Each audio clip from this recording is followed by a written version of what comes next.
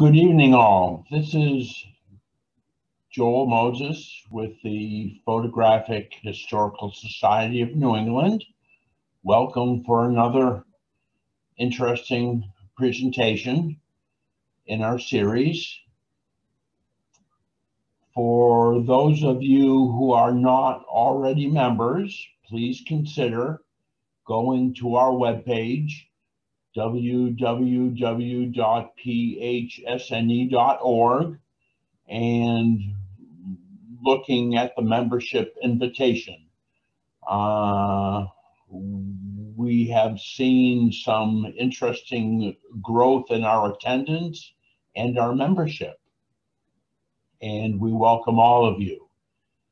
I am going to turn the speakership over to Dana, who will introduce our presenter for this evening. And thank you very much for taking the time to attend. Thanks, Joel. Hi, I'm Dana G. I'm the program coordinator for PHSNE. Um, you may have seen a notice when you signed on that we're recording tonight, so this will be available on YouTube afterwards. And just a brief um, Zoom tour before I introduce our speaker. Um, at the bottom left, you'll see a, a mute um, and a video icon, microphone and a camera. Please stay muted during the presentation. And um, we'll do questions at the end. And, and, you know, in the event that uh, Nicole wants to, to pause, we'll do that too. So um, if you would type your questions for Nicole into the chat, which is at the bottom center, um, we'll get to those either midway or at the end, depending on how we're doing. Um, and uh, let's see, this up at the top right, uh, you can toggle between gallery view and speaker view. Um, gallery view is good for seeing everyone. Speaker view is best for the presentation. Um, so um, Nicole Hudgins is a professor of history and art history at University of Baltimore. She has published several articles on history of photography and two books. The Gender of Photography shows why and how early photographic institutions insisted on masculine values and authority, and how women engaged with photography despite that dominant trend. Her first book, Hold Still, Madame, Wartime Gender and the Photography of Women in France During the Great War, is an open access volume at the, in the collection of St. Andrews, uh, St. Andrews University Center for French History and Culture. You can find a link to uh, the gender photography in the chat. And um, her new project, Alice, will be an online gathering place for photo historians, students, curators, um, aggregating photo history news and establishing resource wikis with the chat room where colleagues can meet. And she can tell you more about that at the end. So um, welcome, Nicole, and it's all yours.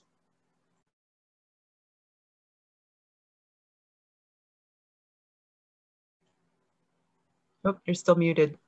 Um, I thank you guys so much, Joel and Dana and Ben and Bonnie as well, who did such a nice layout of the newsletter that I got a copy of as well.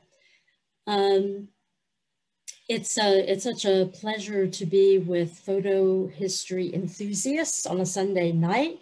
Um, and even though everybody looks sort of like a postage stamp, you all look great to me.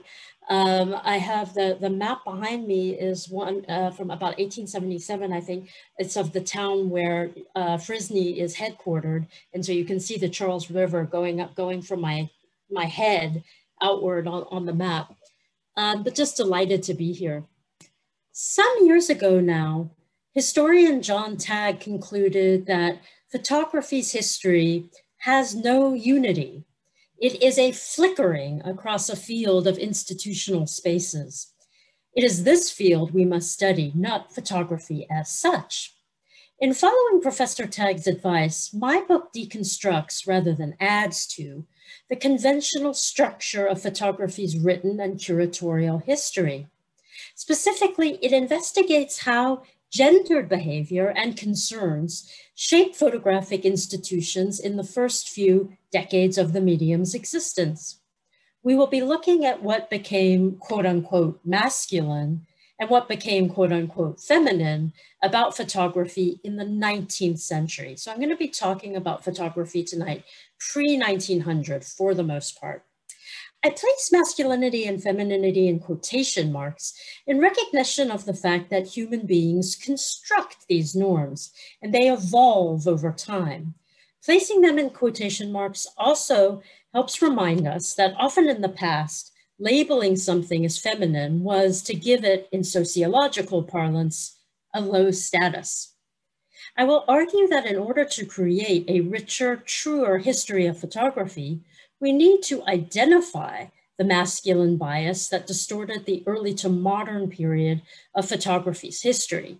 And to correct that imbalance, we must accord equal status to the feminine and the masculine in the early development of photography. To tell the story, I have used sources from what I will refer to as the North Atlantic world, primarily Britain, France, and the United States, to show how male and masculine domination of photography marginalized female and feminine contributions to the new medium. Understand that the book is not a generalized attack on the Victorian men who excluded women or the women who excluded themselves. On the contrary, we should admire the success with which men in the 19th century used formal associations and the accompanying press to promote photographic technology and its professions, establishing a tradition that has endured to the present day. The problem was and is a matter of imbalance. Women and some men, as I will show, time and again expressed a quote unquote feminine perspective on photography, but that perspective did not properly partner with the masculine perspective that dominated photographic discourse and display. The feminine perspective was hidden under the weight of masculine text. In comparison to previous works on women photographers, I offer a broader corrective to the imbalance of values still pre prevalent in the history of photography. Despite the impressive corpus of biographies and exhibition catalogs dedicated to the work of women photographers of all eras, the knowledge it offers has not led to real change in the format of our surveys, textbooks, or museum exhibits. Such accounts of photography's history and its many uses will be improved by correcting the historic imbalance of values not simply by adding women's names and achievements to conventional accounts. To paraphrase anthropologist Henrietta Moore, the add women and stir method will not repair a deeply rooted bias. To correct the imbalance inherent in the structure of photography's history, I propose employing the phenomenon of gender as a useful category of analysis, as a lens with which to look at the human records of photography's past. One of the most interesting aspects of this story is how appearances can be deceiving. Male dominance of early photographic associations did not prevent a good number of women from engaging with, producing, and writing about the new technology, despite the obstacles. So if half of the book analyzes the reasons behind masculine dominance of photographic institutions, the other half looks at where women and femininity found space in the realm of Victorian photography and how they did so. And one of the most important goals of the book is to explore what the feminine in early photography may have consisted of and how we might reintegrate it into what remains a largely masculine perspective on the medium's history. To begin the rebalancing act, I ask you to bear with me, keeping an open mind to a borrowed concept that despite its distance from the realm of photography, will be useful for our purpose. I have borrowed an ancient concept from Chinese philosophy and medicine to help us think about the relationship between masculine and feminine values. And uh, what I will do is share my screen at this point to show you my first slide. Everybody see the yin yang? Cool. In this philosophy, originating in Chinese Taoism, but appearing widely in Asian thought, the dual cosmic forces of yin and yang and the Chinese Taijitu symbol representing them are, it turns out, useful for thinking about how feminine and masculine values entered photography during its formative years and how they continue to weave their way through the world of art and creativity. They are useful for discovering how those values became imbalanced and suggestive for how we might restore a healthy balance going forward in order to create a better historical model.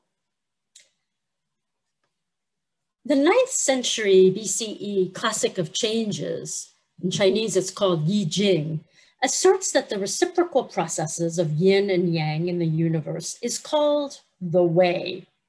According to this theory, the way, Tao, is the flow of forces in the universe that produces all change.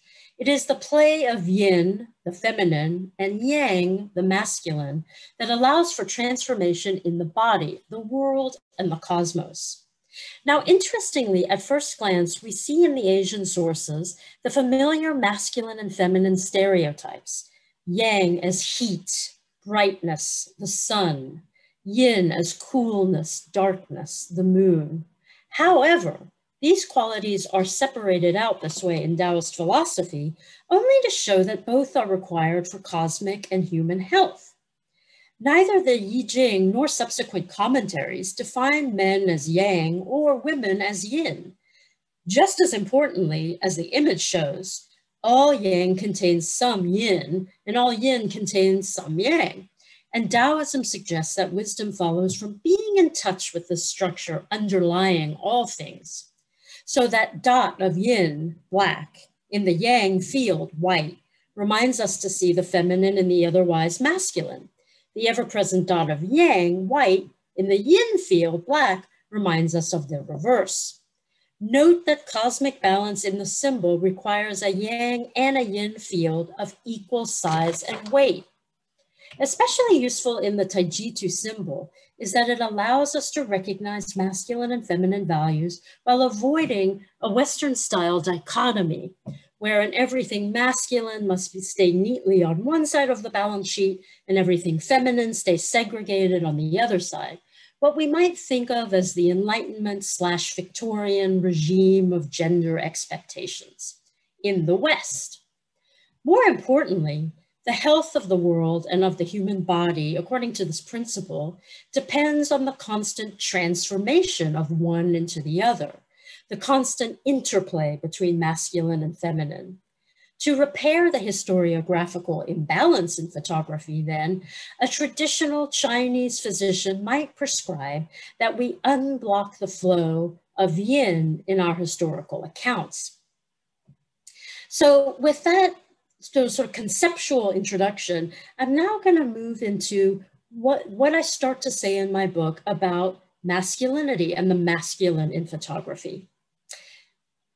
In some ways, a chapter addressing the quote unquote masculinity of photography is unnecessary, since arguably the entire 20th century historiography of photography and into the 21st century showcased masculine preferences, desires, practices, and choices.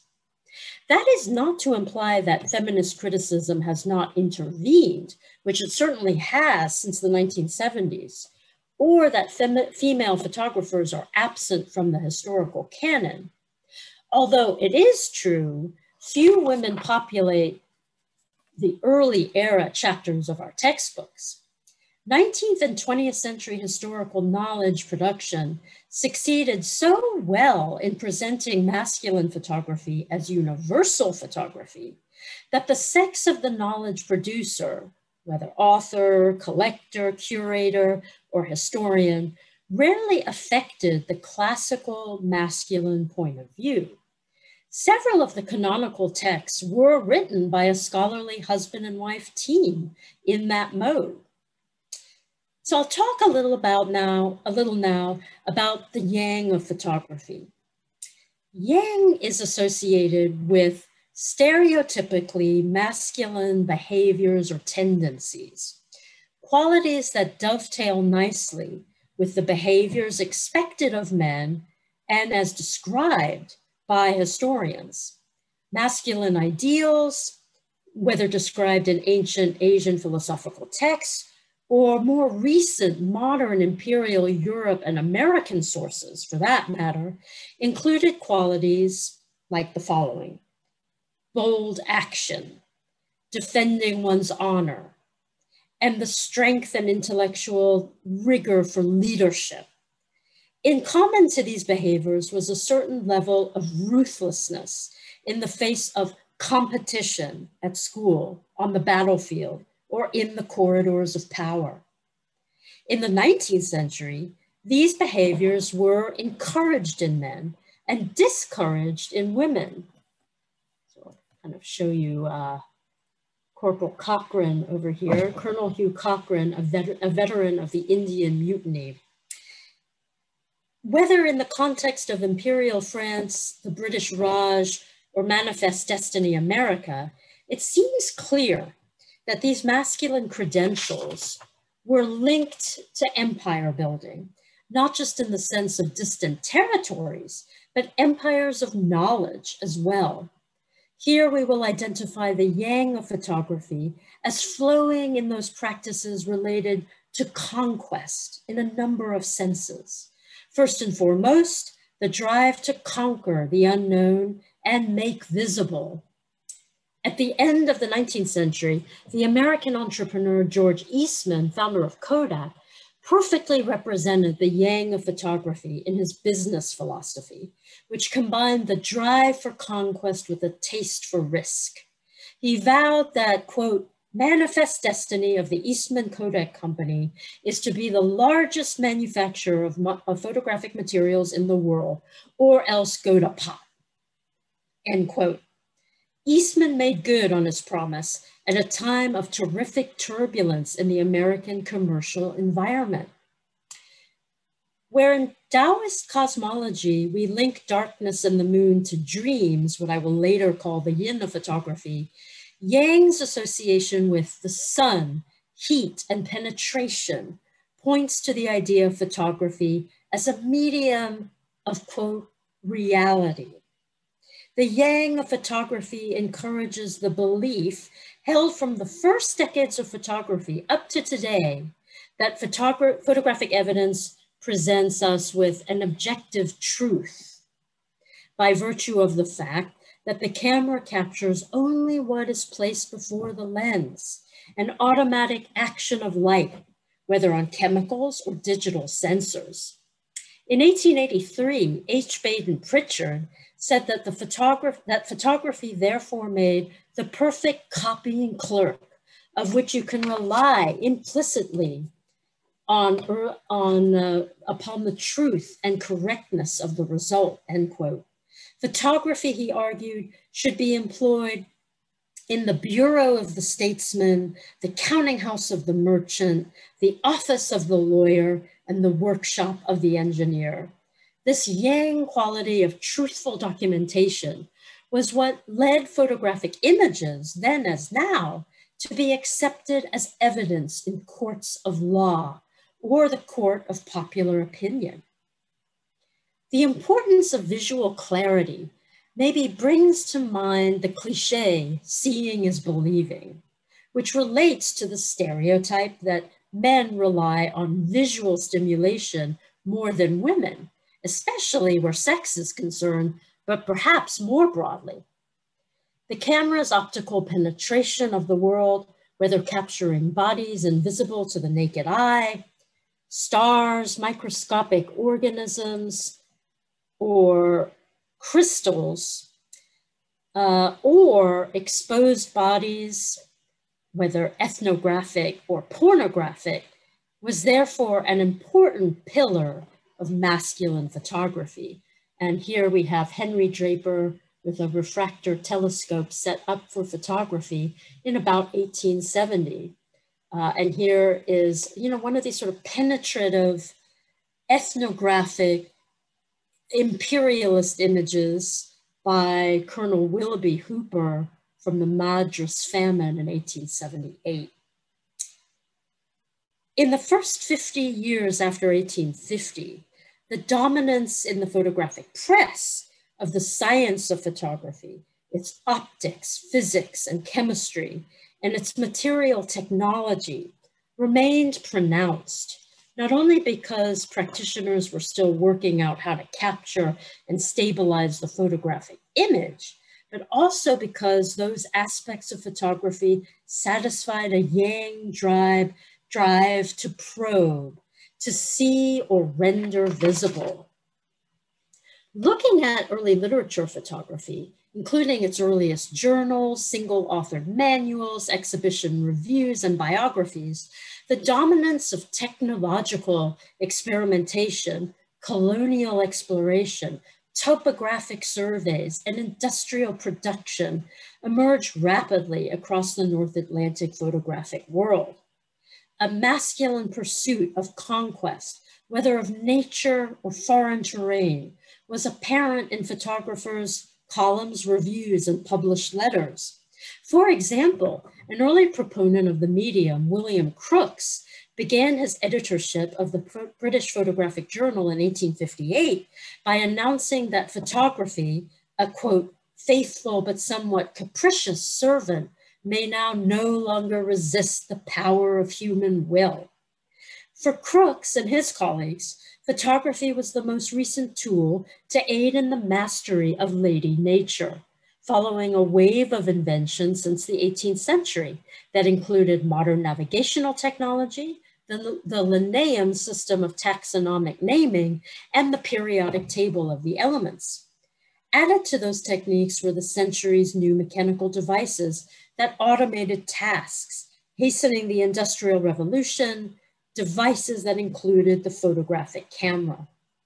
Across the channel too, French, photo, French photographer Auguste Belloc observed that heretofore, quote, nature was only reflected in the clouds, in the water, but now nature was subservient to our will and can be reproduced upon substances at our disposal, and that with a permanency and in such reduced proportions as to enable us to form a collection, if we may use the term, of all its riches and all its treasures, end quote. The idea of subjecting nature and photography to the human will was an expression of the period's scientific optimism. Introducing Talbot's photogenic drawing process to the Royal Institution in 1839, Michael Faraday mused, quote, what man may hereafter do now that Dame Nature has become his drawing mistress, it is impossible to predict, end quote. Nevertheless, predictions soon rolled off the press.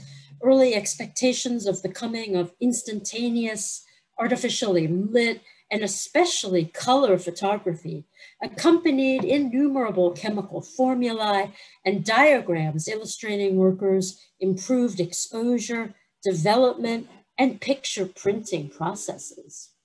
And here we have uh, a, a, a excerpt, really a snippet from a report by Monsieur Silbermann on the process of photographic enlargement in 1860. So I read, you know, and I saw a lot of articles in the early photographic press that looked like this, right? A very kind of physical, chemical um, uh, look to them with diagrams.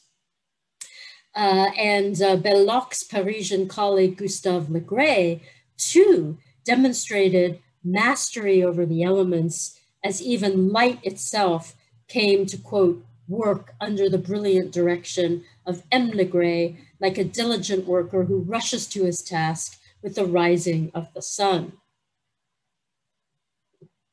Sometimes the camera took either a female gender or a servile identity, as in the previous example. Other times, photography was referred to as a goddess and photographers her votaries or, or priests. Frequently, photography was the handmaiden of science or art. All of these metaphors accompanied the photographer's use of the technology as a means of penetrating unseen realms. Printed articles and announcements showed that the central tenet of photographic discourse was that photographic image captures an objective, knowable reality. This axiom encouraged early journalists to predict the new medium's future social scientific uses. Quote, whether it be a means by which we can the more easily detect a prisoner or record the rapid light of a cannonball through the air. And so you have a lot of kind of published books like this from 1886, Portraits of Professional Criminals in America. In the United States, M.A. Root described how civil engineering, mining works, and military operations may profit largely from the art. Photography would indeed accompany the dredging, tunneling, and subduing of the North American continent, as you see in this William H. Jackson photograph of all the members of the Hayden Survey of Wyoming in 1870 from the US Geological Survey. News from the colonial sphere, too, quickly appeared in the photographic journals. A multi-part letter entitled Photography in Algeria for example, described not the adoption of photography by Algerians, but rather the European reporters' adventures among the quote, uncivilized Arabs of the recently conquered French territory. Masculinity mingled with race identity in British and French photographic journals, as well as American uh, publications, which reported on the photography of Western expansion and herded Native American communities. Shortly after the mutiny in India in 1857, a letter arrived to the photographic news from the subcontinent, assuring readers that the camera did, quote, its share in recording the deeds of our brave countrymen here I even in the battlefield.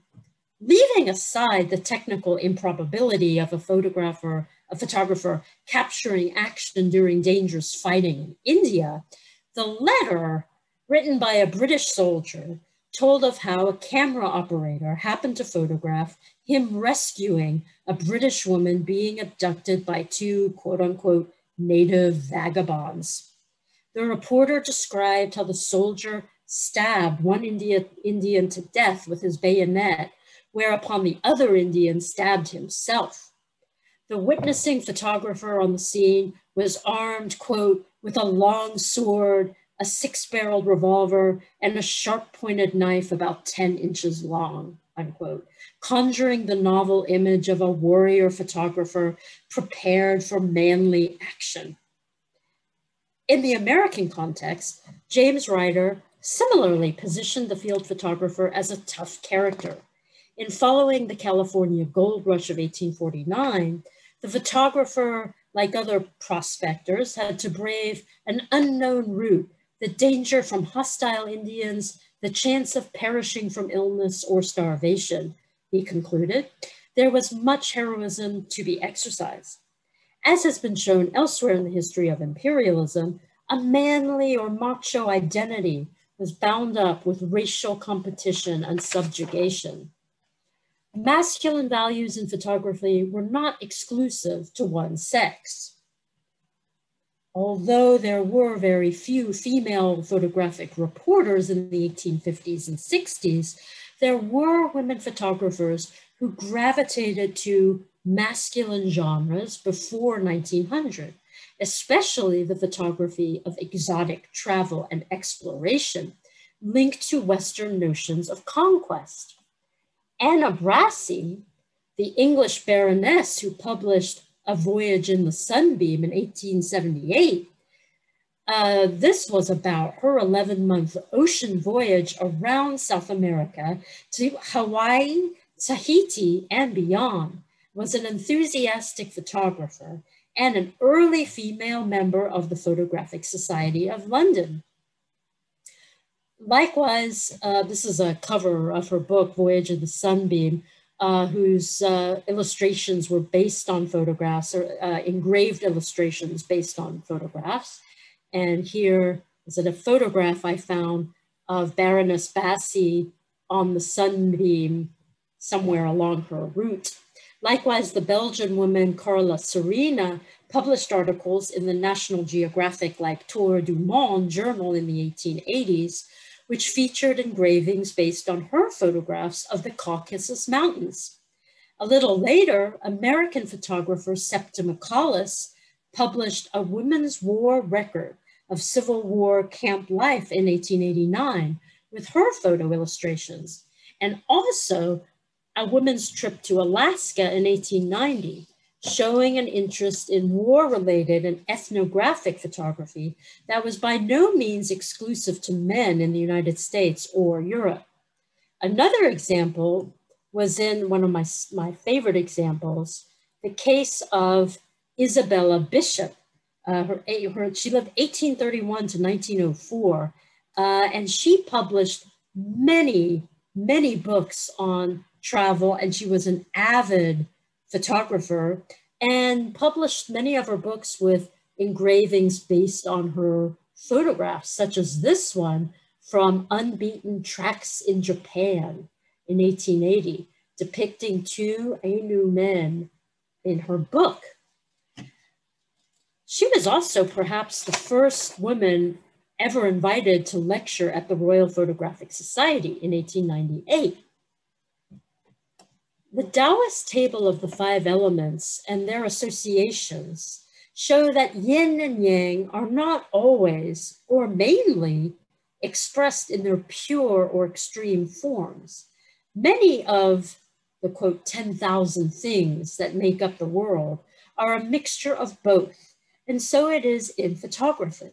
A blend of yin and yang impulses could produce the sublime as in Anna Atkins' photographs of British algae, uh, which you see here from 1843, using the blue camera-less cyanotype process. Atkins cataloged all the known species of algae in the British Isles in the first scientific work employing photographic illustrations. On the one hand, Atkins' project expressed the will to systematic mastery what we might consider a yang impulse, in contrast to what 19th century societies expected of leisured ladies' botanical sketching, Atkins' catalog contained 12 parts and required a decade of professional discipline to complete. The role of the sense of touch here, though, both in her production of the albums uh, and in the way she shared them, introduced a number of feminine elements, the delicate beauty of her blue impressions, lovely enough to frame as individual pieces of botanical art, yet sharp with detail appropriate for classroom examination. Her handwritten text legends, which you can kind of see there, and I can even kind of expand, oops, that's a little too much, the, um, size. You can see her hand written genus and species there. Uh, so she, you know, part of her production was kind of involved with um, tactility in the sense of touch, including intimate gifting of each copy to its recipient, showing that yin was as strong as yang in this work. So I'll just, I'll pause there for a moment um, in case anybody has a kind of a burning question that they might want to ask me now. Uh, and if not, we will plunge ahead to some of the femininity of photography. Um, but I would love to hear what your questions are, or maybe what you're curious about, maybe one or two, if, if necessary um, kind of it kind of reminds me of my students. They're they're kind of absorbing and processing, which is also great. Um, so we we will just uh, soldier on. So I'll, I'll, kind of call this next section theatricality. Um, and the, it's adopted from one of the chapters in my book um, that looks at some of these supposedly feminine traits in early photography um, I argued earlier tonight that looking at the history of photography with a different philosophical lens could help us open up what has remained blocked. The feminine values I will identify in 19th century photography may or may not appear in photography today, because while gender never vanishes, it continually evolves. If we hold the concept of yin in our minds, we can also avoid the conflation of femininity with women since there were men all over the North Atlantic world who contributed to the following feminine genres and themes, just as we saw women photographers expressing yang earlier tonight. If the yang of photography is concentrated in the word conquest, a single word that might encapsulate the yin of photography is the word play especially as applied to the theatrical playing of roles. This sense of play appeared mainly in the work of serious early amateurs. The masculinity of commercial studio photography, as discussed earlier, meant that the, the bulk of professional women's photography before 1890 conformed to an efficient semi-industrial system standardized in men's professional organizations, advice literature, and patent um, bureaucracies and legal apparatus, none of which took women's opinions or approaches into account. Although there were exceptions in a handful of mid-century studios, mainly it was in the play of the amateur that yin infusions of theatricality, dress up, and tableau vivant established the femininity of early photography.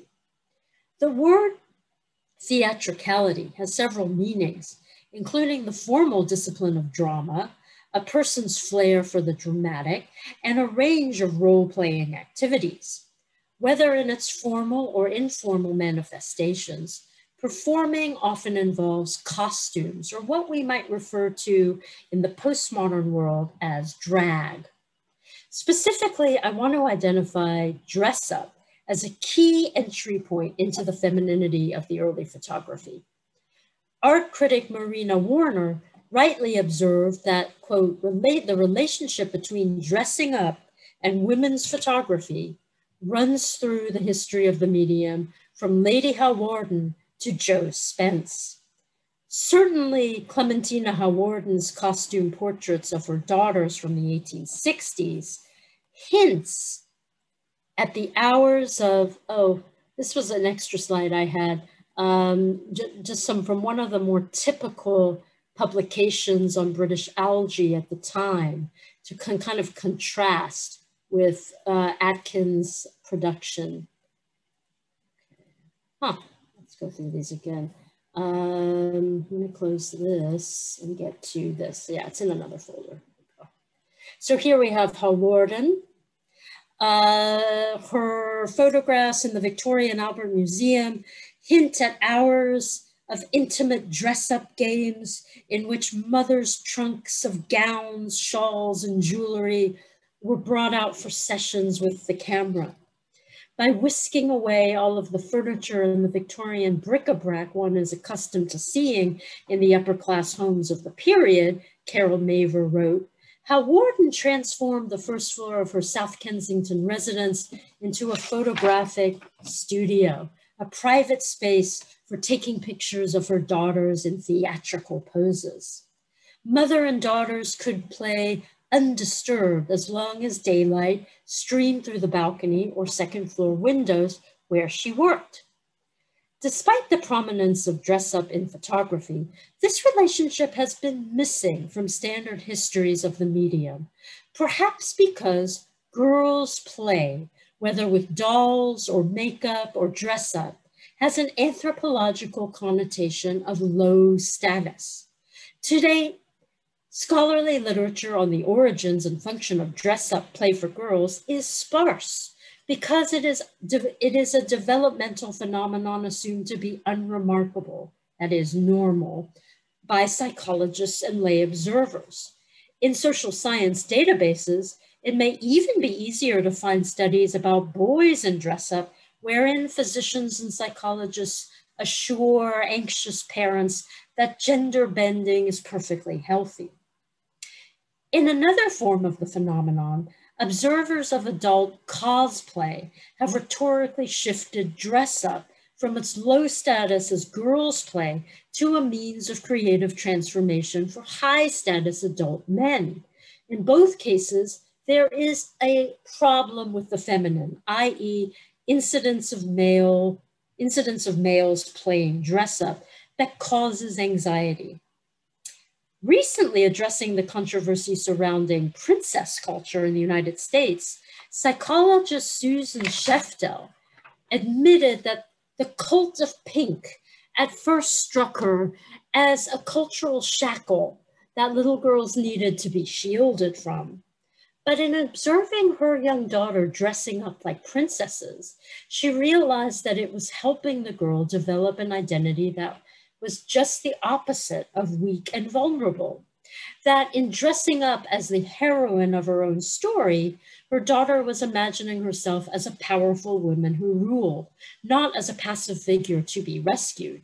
Sheftel's insight is suggestive for the 19th century women I discuss, who, whatever level of family, wealth, beauty, or creativity, were bound by the gendered constraints of the period from a chimney sweeping maid named Hannah Cullwick to an actual princess, the future Queen Alexandra, and several classes of women in between, playing dress up and capturing this play for the camera gave life to desires for independence and control. Unblocking the flow of yin in our accounts of photography, then, will require recognizing dressing up and related forms of play as important, essential, and high status forms of human self expression, what Federica Muzzarelli called performativity. We call, uh, sorry, we will see examples of male and female photographers who infuse their photographs with varying degrees of feminine theatricality. I am indebted here to Muzzarelli's 2009 study of women photographers, which grappled seriously with the femininity of photography across the lives of 12 women's photographic legacies. The theatrical element in Victoria women's stage photographs, self-portraits, and photo collage compositions is striking, and it was expressed across a range of social classes. Was women's fondness for role-playing so prevalent because the roles prescribed for them in real life were so confining, the vigilant protection of one's reputation and those of one's daughters operated as a virtual leash on women's movements and desires during the period. Dress up for young or older women allowed for play and the opportunity to perform alternative, sometimes exotic personas and so here we have kind of a typical colored illustration in the fashion magazines of the mid 19th century, this one from the French Mode Illustrée. It is possible that making images of themselves or other women in romantic roles provided a therapeutic break from the, li the lifelong performance of feminine modesty. Humility, quiet domesticity, and above all, pious obedience to father or spouse. The mandatory roles consigned to Victorian men, even with the privileges that accompanied them, may have sparked the desire for temporary escapism as well. Photography provided some amateurs with a new space for play, even escape from the restrictive rules of everyday life. Um, consider the case of Queen Alexandra, the consort of Edward VII in Britain and an avid amateur photographer. Alexandra's life was a good example of how, underneath circumstances of privilege, wealth, and good looks, the individual endured a great deal of pain and humiliation. Photography for Alexandra may have served a therapeutic function, judging from the, the trials she faced from ill health, marriage, and motherhood. She suffered from hereditary deafness that, that worsened with age, something called otosclerosis. childbirth that destroyed her, her health with rheumatic fever, a lame right leg that impaired her gait, the death of her eldest son, the royal heir, and the death of an infant son in 1871. Living in pain punctuated by sorrow, Alexandra also had to contend with her husband's terrible health, chronic bronchitis, skin cancer, and several heart attacks, and his flagrant infidelities. On top of those challenges were the strict protocols and constraints that governed a royal's movements all day, every day. This photograph of Alexandra by Lafayette comes from one of the princess's albums, which combined her own photographs, her drawings, handmade color decorations, and others' photographs, as here. Here she is dressed up as the French Renaissance Queen Marguerite de Valois for a ball in 1897. Queen Marguerite was a powerful and complex woman, estranged, then divorced from her husband, Henry IV, following mutual infidelities. Later, she commanded a failed coup against her reigning brother and lived in exile. Unlike several of the wives of England's contemporary Henry VIII, Marguerite kept her title as queen and lived out her life as patroness of the arts and charities in Paris during her former husband's reign. Alexandra's choice showed wit and daring. Dressing up or dressing others up to play, to play heroines from literature, queens from ages past, or even more provocative figures allowed women like Alexandra to escape temporarily from the expected display of meekness or submission then prescribed for wives of whatever class station. Another camera-friendly form of theatrical play was tableau vivant, defined as a costume group or individual in a static and carefully arranged pose, usually accompanied by elaborate sets and props. Tableau vivant was popular throughout the 19th century as a theatrical genre used to illustrate mythology, famous paintings, or historical events. These stagings are originating in the pre-photographic romantic era, or even earlier, predicted photography in the sense that the creator yearned to fix a fantasy in a stable image, to make it concrete, producing a unique, irreplaceable experience for both participants and observers.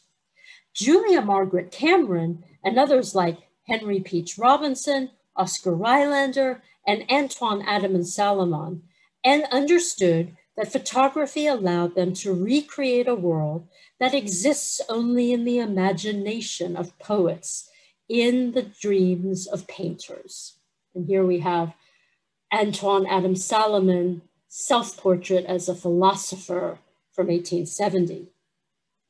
This notion of photography as belonging to the realm of dreams rather than to reality was the yin aspect of the medium, in contrast to uh, the yang of photography's power to reveal truth. Home theatrical productions without the camera were an enthusiasm among all the educated, educated classes of the 19th century, Britain, from the postprandial recreation of school teachers' families to the amusement of royal children. Isle of Wight neighbors Julia Margaret Cameron and Alfred Tennyson were both theatrical, and both families participated in Mrs. Cameron's Thatched House Theater productions on the grounds of the photographer's house.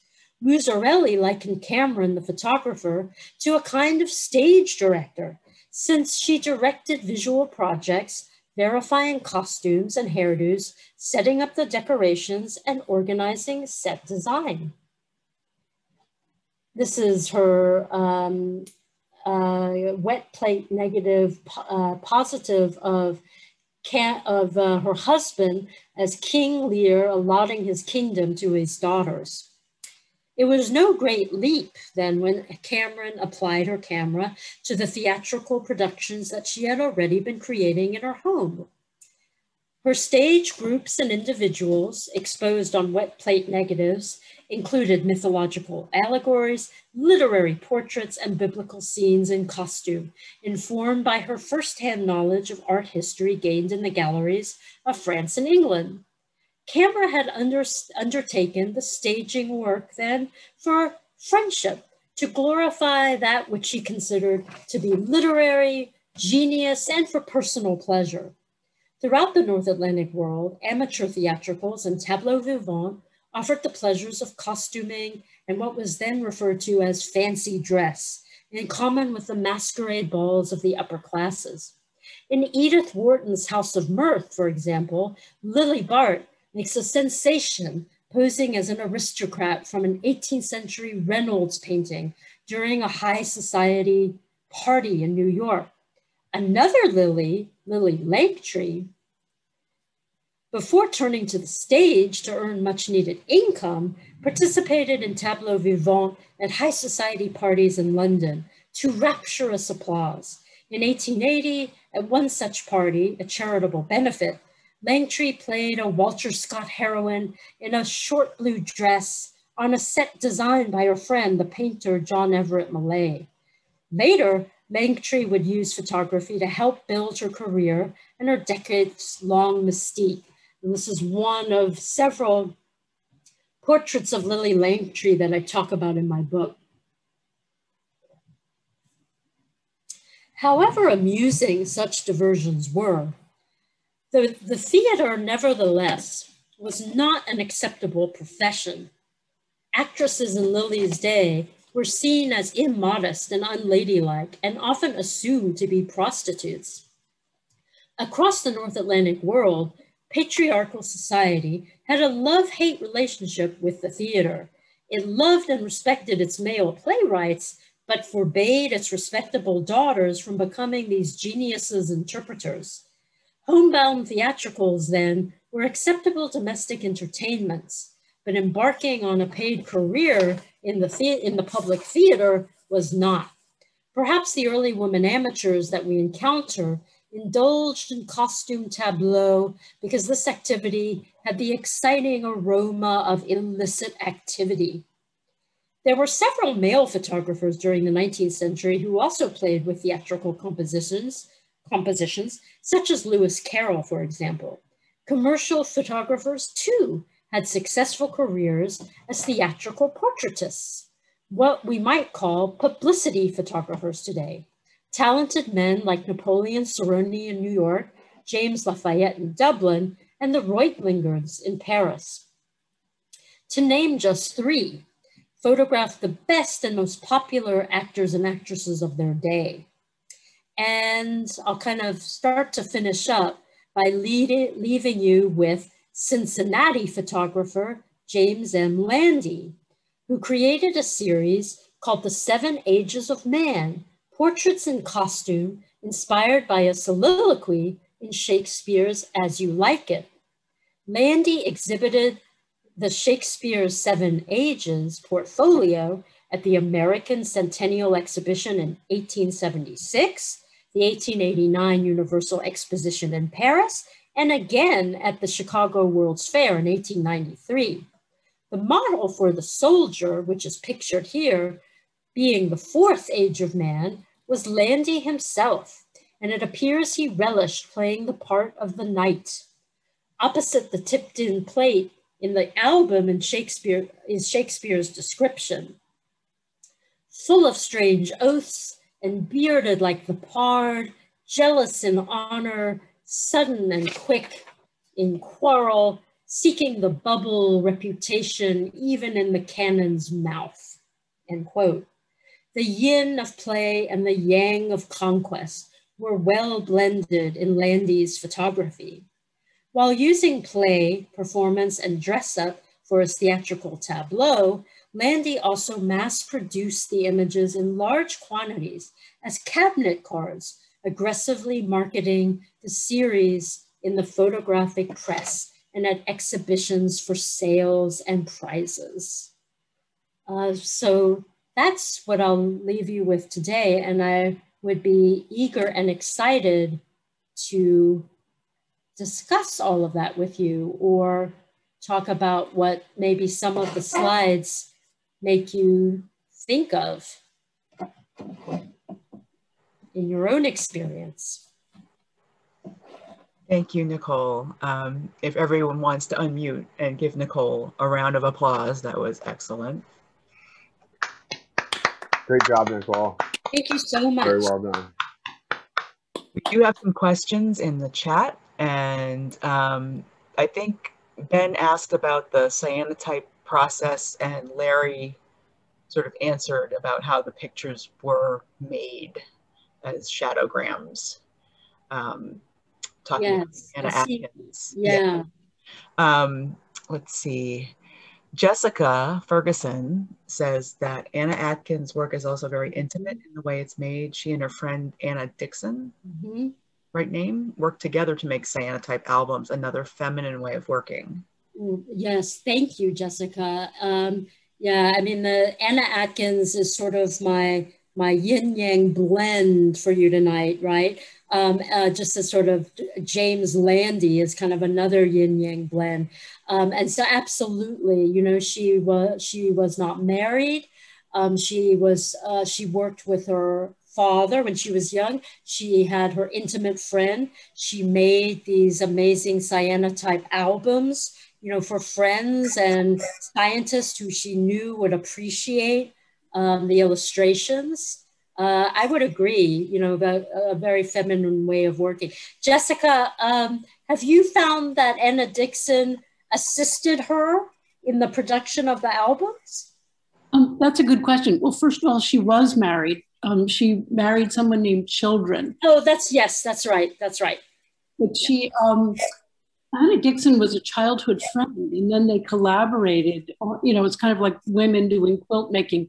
I, I thought it was very interesting, and they made those books together. But Anna Atkins was is a really remarkable blend. I mean, I liked your idea of the yin and yang, the scientific, because she was very precise using the Latin names.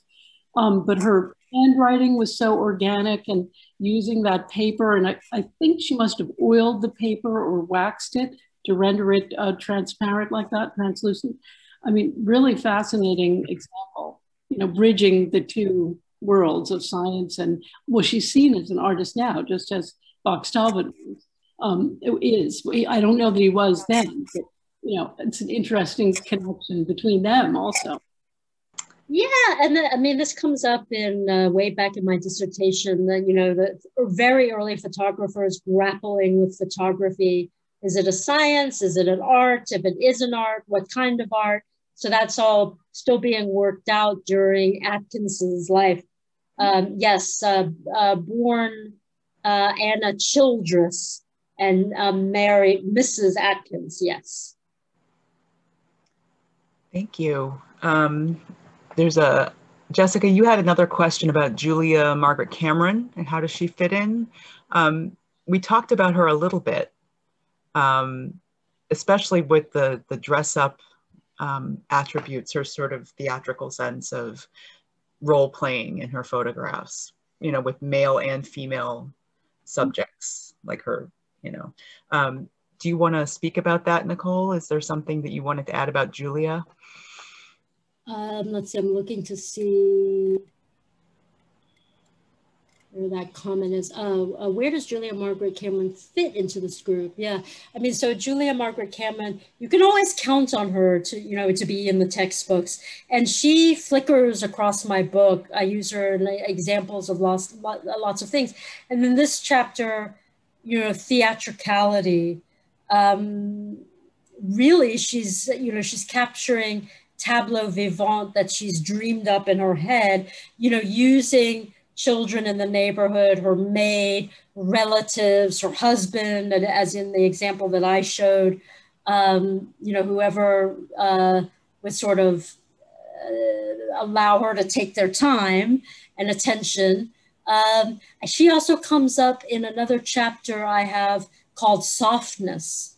I'm kind of looking and analyze the femininity of softness. And of course, much ink has been spilled over the, the fuzziness of Julia Margaret Cameron's photographs. And I talk about that in my book as well um, as certainly deliberate.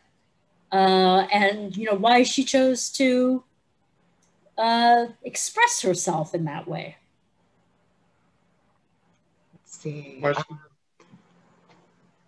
Hi. Uh, yeah, um, Jeff, I see a comment in the chat, and I wondered if you would go more into what you were saying. Thank you, um, and, and, thanks for uh, addressing us. Uh, I find that uh, so much of what you've said sort of overcomplicates the whole uh, problem of uh, women in in photography. In prior to 1880, the only way you could do photography was to be mixing your own chemicals and coding your negatives. And if you're not in a studio, you're driving around with a mobile uh, darkroom. It wasn't easy for anyone. And in general, as we all know, uh, at that time, and well, unfortunately, even to modern times, there's a, uh, a stereotypical a, pro, a view of women as being not appropriate for these sort of technical things. But that's society wide. Mm-hmm. It's not just like, well, it's just photography. Yeah. And um, I, I, I, just don't get the yin yang thing. I mean, I, I get it in the sense of what you're trying to say. I just don't think that there's so much more to the complexities and the difficulty of photography that anyone could even do it in those days to be thinking that uh, there are, I don't think there's just feminine and masculine uh, uh, concepts uh, would make some sense if you were talking about, and, and you did to some extent, about the content of the photography. But uh, I think in, in this era, uh, the technology dominates the problems. And if anyone could even do take a picture, they were they were ahead of the game. Yeah, you know, I I talk about um, the early women professional and amateurs, uh, you know, uh, along the chapters of my book, and to some extent try to dismantle, you know, this myth that you know the reason why women supposedly, you know, didn't take up photography was a because it was chemistry and they couldn't do it, and B, because of the awkwardness of the equipment.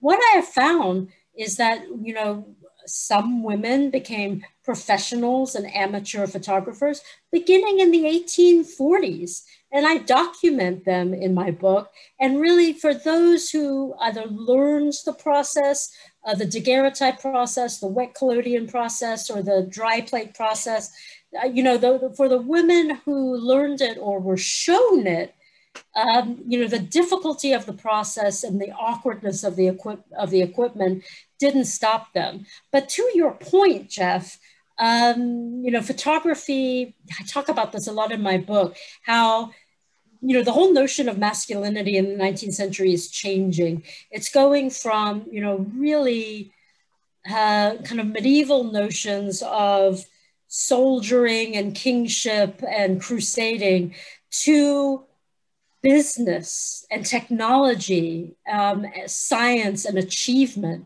So to your point, um, the kind of the chemistry, optics, physics of photography, all of those were field, fields that men of kind of a several different classes in 19th century photography were encouraged to pursue.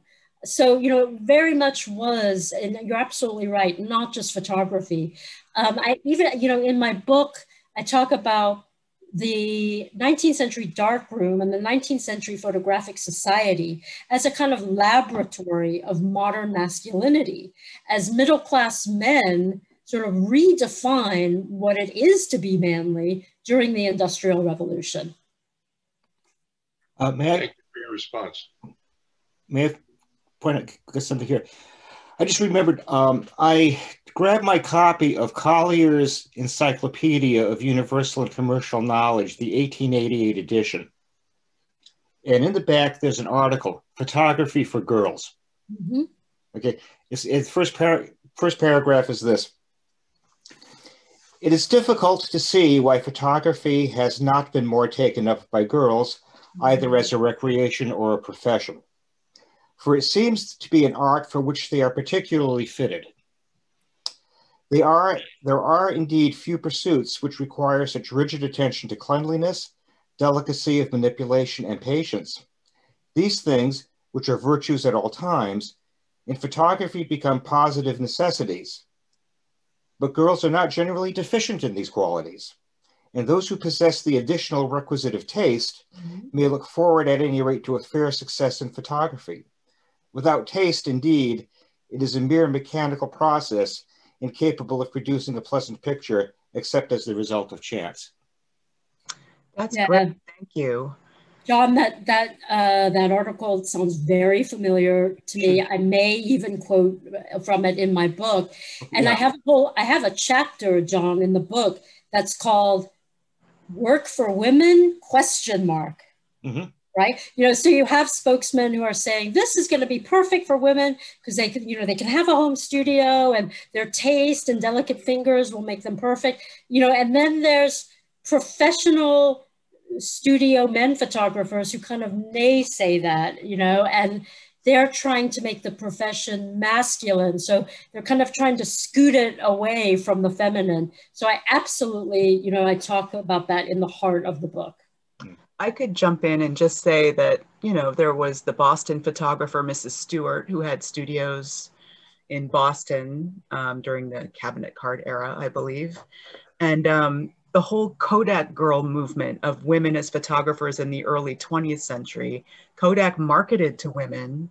Every catalog was a picture of a beautiful woman in a beautiful hat holding a box camera. Yeah, I re- yes. Yeah. Uh, but but Dana, way before that, Yeah. um, you know, one of the places that I performed my research was at the Beinecke Library at, uh, at Yale, um, which is such a pleasure to do research in, and it contains the Peter Palmquist collection of women's photography, and that was sort of the motherlode of pre 1900 uh, professional women photographers all over the United States, um, you know, with the documentation about their biographical information, um, and some, and including European women as well. Um, did he publish a, a catalog? Was there an exhibit uh, on on that collection that there was a softbound catalog of? I believe that there that there is Dana. There's several catalogs in the collection in the Beinecke Library, and some, you know, some of his notes which are not published as well. You know, which is in there. That that was really helpful to me. Uh, let's see. Reich had a question. Uh, I'm sorry, I'm scrolling up and down here. Um, yes. Um, he says that one of the great social um, documentary photogra- photographers of the 19th century, John Thomson, explored the social conditions in England and later in Asia. Um, are there any women who pursued, pursued this type of social documentation at the same time period? Like, oh, nice.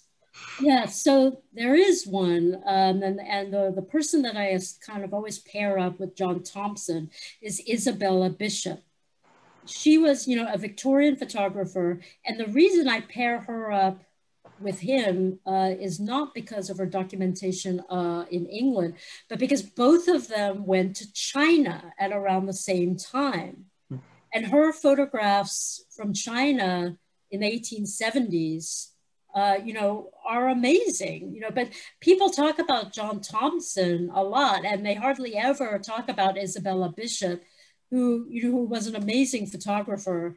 Um, and if you really want an amazing read this summer, read her, read the biography of Isabella Bishop. She was a fascinating woman.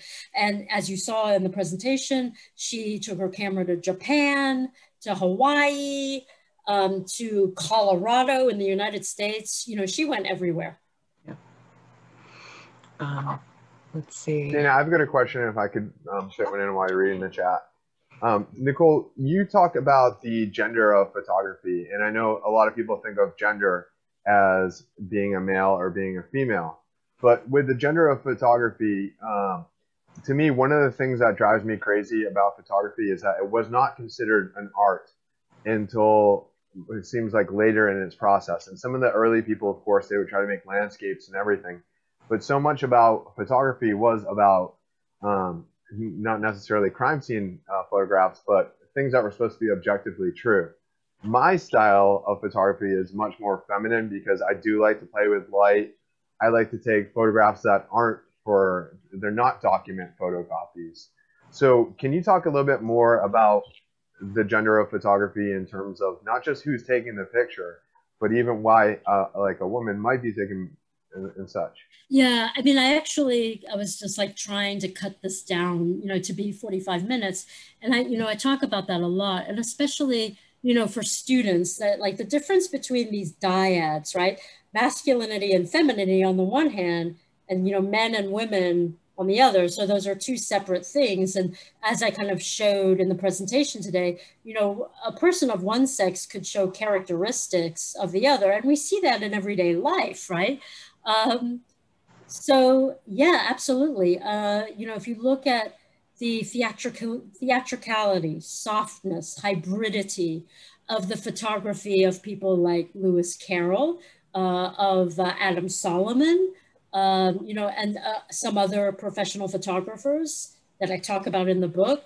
Um, you know, I talk about, you guys probably know Henry Peach Robinson's uh, classic photograph, Fading Away, which is a tableau vivant, um, and very taking great pains with texture and tactility.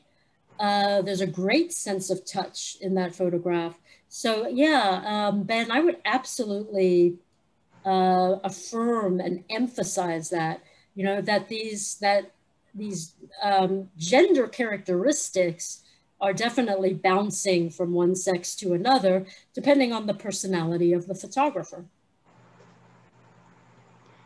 Do you talk in the book about women who worked alongside men in a photography studio, like women who were assistants or who retouched photographs or who were part of the, the sort of, you know, preparation for the actual photograph to be made? Yes, um, I have a, a, chapter in the book called Women in the Studio. And uh, the really, the whole section of the book talks about the different roles women had in the studio, what was said about them in the photographic press. Uh, I just um, I just converted a chapter called "The Gender of Coloring" into an article for a French journal, um, and you know the way photographers felt about retouching and about coloring and tinting, um, and kind of very intense language and debates that they had about that. Um, and, you know, as well as women establishing and operating their own studios, you know, and how I, lo I love talking about Hannah Maynard. Do you guys know about Hannah Maynard? She's a Canadian studio photographer who did really interesting things kind of on her time off with sort of combination print portraits and um, and stuff like that. I talk about her. Uh, so yes, and also um, if anybody is interested, um, uh, you, you, can go through Dana. I have a like a flyer for a discount um, on the book, which uh, is not uh, priced cheaply by Routledge. If anybody is interested, I can send along the flyer for that as well. Yeah, we can we can share that maybe in the next newsletter or on you know right you know alongside the the newsletter about your talk. Maybe we can add that to the website. I'll add, I'll talk to um, Reich about that. I would love to. Um, the other thing, you know, when you were talking about play, um, something that stuck in my head was Little Women and Jo creating these, you know, stage managing, writing, directing, how um, you know women in theater or even portraits of actresses like Charlotte Cushman or you know the the women that you were talking about having portraits made and distributed as souvenirs or you know for sale by photography studios. Um, it seems to me that there's something very free about the way that that takes place and, and not as studied perhaps. Um, it just seems more organic to me when it's coming, um, when it's, I don't know, I'm trying to say, there's a more feminine quality of sort of. Yeah, I mean, really, like the word, the word for it is yin, right? I mean, so it's it's the yin is the combination of all of those sort of feelings that you're talking about that are kind of hard to put in one word. So you know, um, ancient Chinese philosophers did it for us. All right, and um, Ben, how are we doing for time? We had um, a bit more questions than than normal this this this month, so I think we're getting a little bit tight on time. So I think what we could maybe do is um, uh, try to wrap up by 8:50 with the the uh, sort of informal conversation. Just give everyone a chance to say goodnight, and then um, as we hit uh, 8:50, I could um, close down the meeting if that works. Sure. Did um, did anyone want to? Um, uh, Jessica, you had another comment about um, Cameron and Hawarden, and we're both prosperous photographers. Did you Yes. want to add anything about that? No, I just thought it was interesting. One of the previous uh, commenters had pointed that out. So it's true. I don't know if other women had that impulse, what they would do. I mean, you know, if they wanted to draw, that maybe that was more accessible. But I can't wait to read your book. It sounds wonderful, and I really appreciate everything that's been said tonight. Very thought provoking. Oh, good. Yeah, I mean, it was a combination. You know, I talk about several women, you know, of all classes, really kind of solving the problem of, you know, how do I set myself up with all this equipment? How they solved that problem was working with, you know, a studio photographer that they had chemistry with. Right. Um, you know, to give the Countess de Castiglione. Yes, I, I, yeah, I talk about the Countess at length in the book. Uh, Um, but, and what's interesting is that it's also people like Hannah Cullwick, who was, I don't know. uh, yeah, Hannah, Hannah Cullwick was a uh, scullery maid, you know, the kind of, you know, the, and she had a relationship, you know, with um, Arthur Munby. It's kind of, it's kind of an interesting story about them. But she, you know, kind of met these photographers. And so she had photographs taken of her in drag, right? Dressed as a man, dressed as a lady, dre- you know, all dirty with coal dust all over her, right?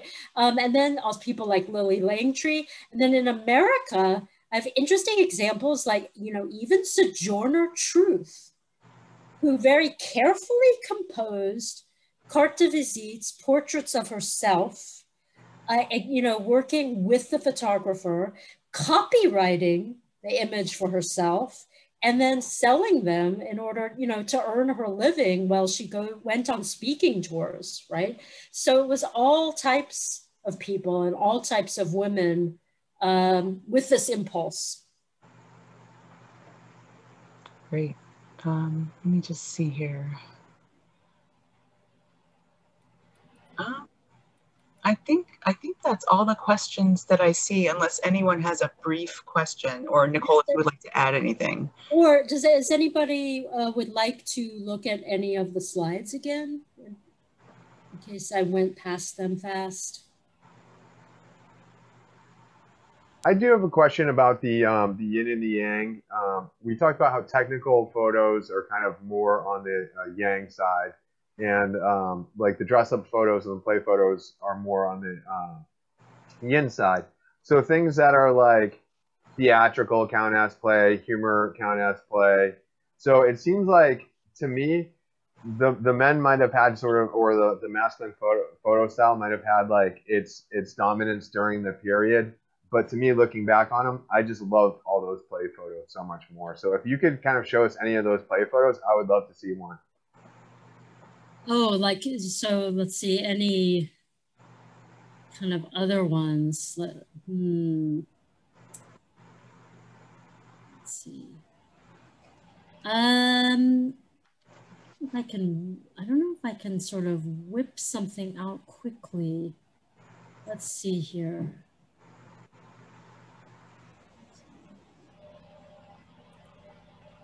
Um, who, uh, by the way, Ben, who are your favorites? I like the one where it showed like the uh, the princess dressed as the queen. Um, you had that during the presentation. Oh, but I, I mean, even your personal favorite photographers, do, do you have Oh, any? I'm I'm such a uh, equipment nerd. I, I barely even know anything about photographers. I learn so much every month, but Um, no, I don't really have a favorite. Hmm. I'm not getting to the right file that I need to be in to, to show you more.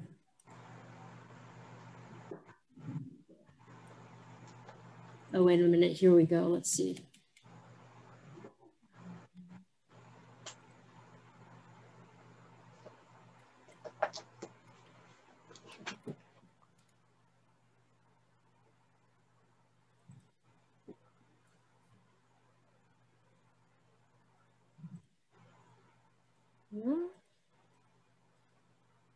Oh, so I'll show you a couple of the uh, Countess Castiglione. Let's just share. Here's one of hers. So she, you know, she paired up with uh, Louis Pierson in Paris, and they kind of created these really self-portraits of this one-time beauty who was the mistress of Napoleon III. So she would dress up in different costumes. Uh, here she is uh, as the queen of Etruria. And, this, and here she is sort of taking flight. And this one's kind of interesting. Unfortunately, it's in grayscale, but she's she herself has overpainted decoration, you know, on top of the glass plate. That's Hannah Cullwick. That's great. Yeah, so here she is dressed as a man. And this is eight, this is 1870s. Oh, Lillie Langtry, I talk about her. Lillie Langtry kind of, yeah, she paired up with Lafayette and had a lot of portraits of herself taken in her roles to promote her roles and her shows that were playing. She would be in advertisements as, as well. Um, my kind of, uh, in my tactility chapter, I talk about albums and the tactility of creating albums and sharing albums.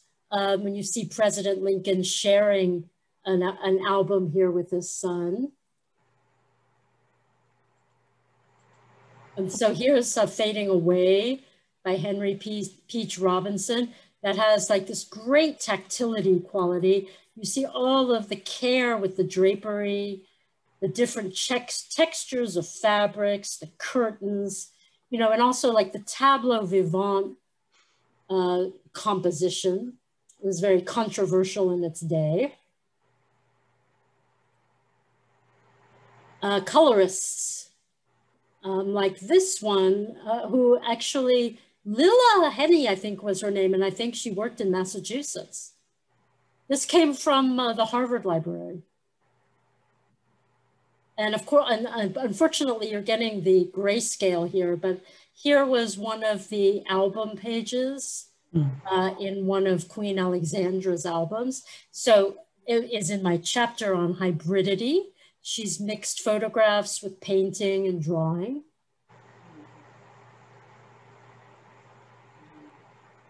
Thank you, Nicole. We had uh, a presentation before we started Zoom by Edie Bressler, who is a photographer who not only works with cyanotypes, but also with mixed media col collaborative photography with the community and also stitching on the pictures themselves using thread to sort of embroider the photographs.